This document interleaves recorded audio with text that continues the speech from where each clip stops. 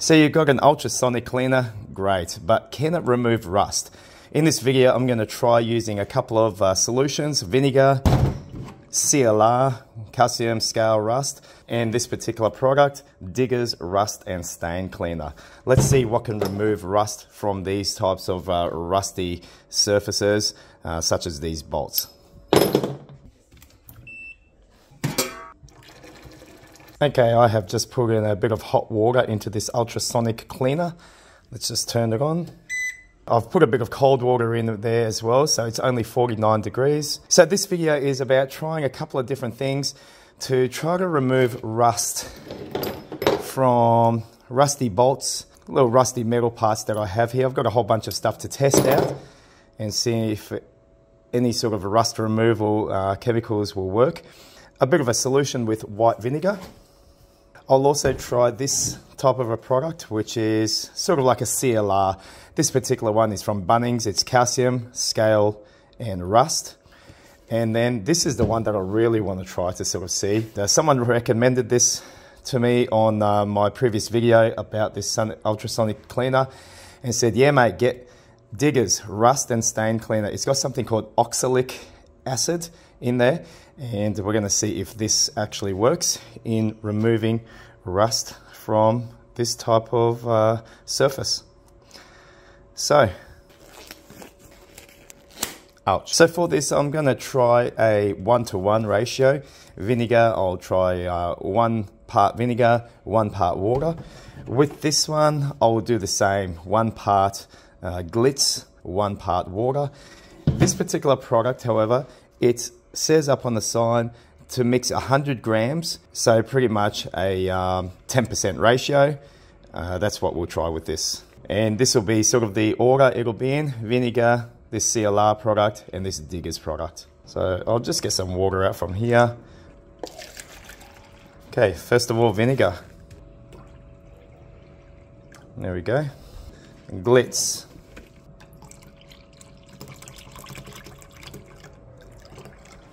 And next is this product. This is pretty potent stuff. Don't uh, have a good smell of this with your nose. It'll burn your nostril hairs. Okay.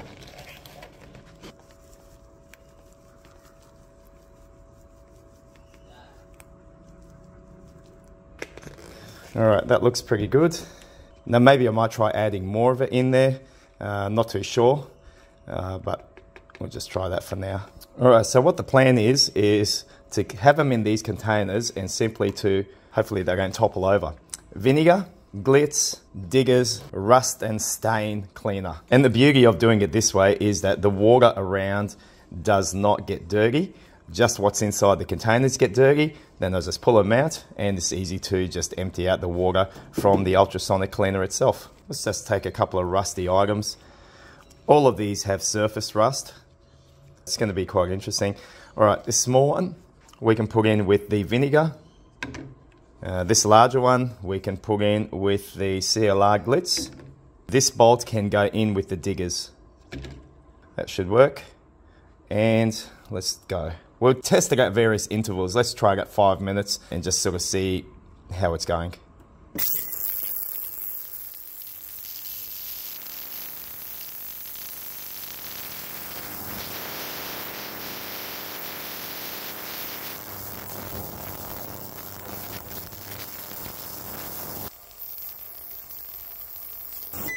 Okay, let's pause it there. It's been about five minutes. Let's just see where we are at. So, vinegar.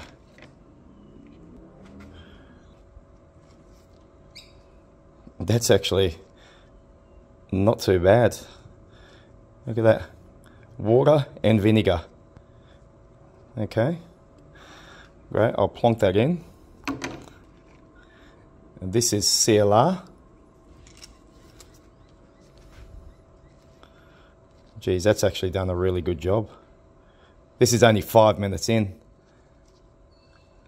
Jeez. That has actually really surprised me. Alright, let's put that back in. That's CLR or Glitz. This is the Diggers product.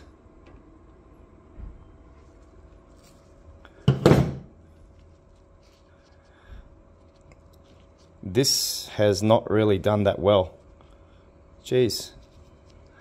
I would have thought it did a better job. Okay, that's this particular product. Five minutes in, vinegar and CLR have done a better job than this Diggers product. Interesting. Let's go back in for some more. I'm going to just tip a little bit more of this powder in here. I am a little bit surprised. Like I would have thought this Diggers product would have done a whole lot better. Okay, let's turn it back on and we'll check back in five minutes.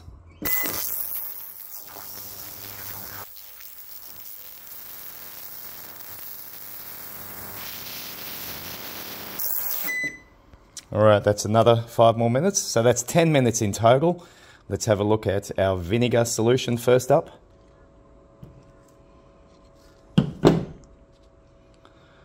Okay, this vinegar solution, and with uh, you know one part vinegar, one part water, check it out. Like that's actually really good. All that rust has been removed from the surface there. That is great. Our CLR solution or our glitz. All right, have a look at that. That is entirely rust free now. That is brilliant. And if we have a look at our Diggers product, this is it right here, and I put in more powder as well. And this still has surface rust on it. So I'm not very impressed at all with, with that. That's performed the most poorly, and this is the most expensive. Like this vinegar will cost you about what two dollars from the local supermarket. This type of a product will cost you about maybe eight dollars from the hardware. And this particular product, well, this quantity costed me $33. Let's put in a couple of different items. And what we're going to use now are just these types of items. Okay, you can see they've got surface rust, they've got some powderized um, white deposits on there. And we're going to put two into each of these tubs. Into my vinegar, there they go. Two into my glitz solution and two into the rust and stain cleaner from Diggers solution. Let's just have a look five minutes and what it does.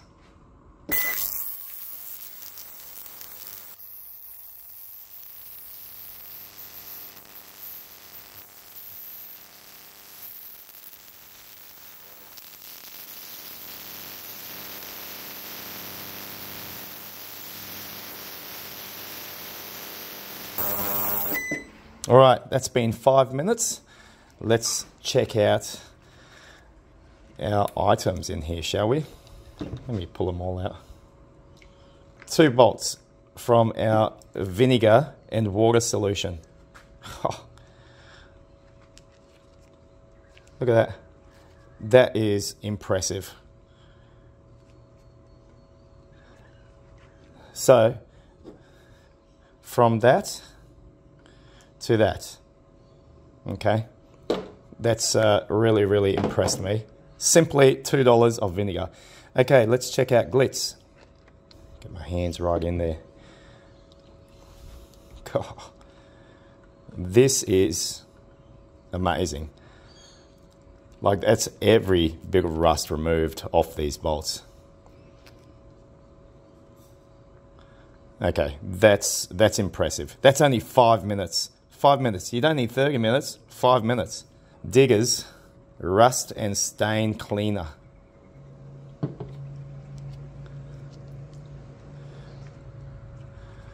Okay, so this has done a little bit better than our previous uh, nut here, right? But look, I just want to show you, this has not removed the rust buildup compared to Glitz, look at the difference. It's like chalk and cheese. This is still left rust on there, whereas this is like crystal clean. So this is very, very interesting, isn't it? Like I would have thought that this particular product would be a whole lot more powerful in removing rust off metal, but it is not. Like I'm, I'm honestly very disappointed with that. That's not working the way I want it to work. What I want to try now is this nut that diggers could not uh, remove the rust from. I'm just simply going to put this into glitz. There we go. And what I'll also do, this uh, these pliers, these welders pliers, have a bit of rust on here. And also this is pretty rusty as well. Let me put this in like that. So going to get uh, half the effect and also that, just like that. Let's chuck in for good measure into our vinegar solution and I'm going to leave the, the nut on there too. Okay. And uh, let's put these rusty bits and bobs into our vinegar solution there. And uh, let's put this one down just like that. Okay, let's go, five minutes.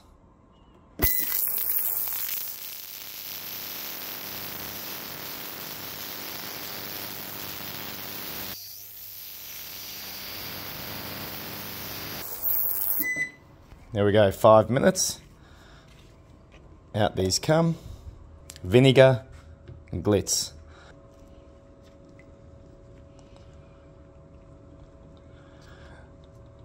So yeah, it's taken a good amount of rust off. These were pretty bad. I can see these would require a little bit more, but still for five minutes, that's not too bad. And just check this out.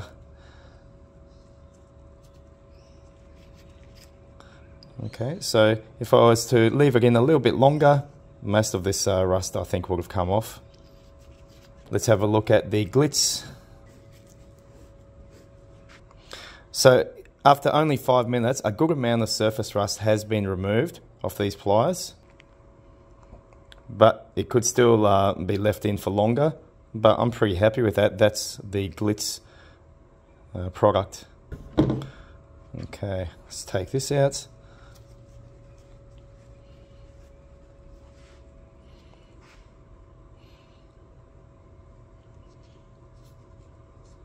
Could be left in a bit longer, but even just for here, this part, compared to this half, that's still impressive. Is there anything else? Oh yeah, there is something else. It's this nut. Okay, this nut is the one that diggers simply could not do anything with. Okay, CLR, this was pretty powerful uh, bit of surface rust, I can tell. But if you have a look, this product has actually gotten it down clean to that metal surface. So this would require a bit longer duration, I can see now. So this was pretty tough. So what I'm going to do is I'm going to continue using this product, the Glitz one, just to do a little bit more work upon this nut and upon these two bolts that diggers simply did not do very well in let me chuck this into the Glitz solution. And by the way, this solution is pretty much the equivalent of it is CLR. Okay, we have this in Bunnings and in our supermarkets in Australia, and that's what it's called. Or alternatively, the equivalent is this. This is a bit cheaper though. Plonk again. Five minutes.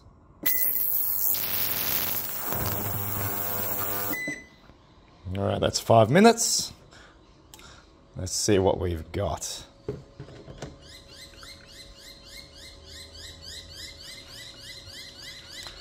Oh yeah, it's chipping away. Like this has uh, been a good bit of rust that's been on here, and it's a little bit more than what it removed before. So that's working pretty good in my opinion. Just needs a longer duration to be in the solution.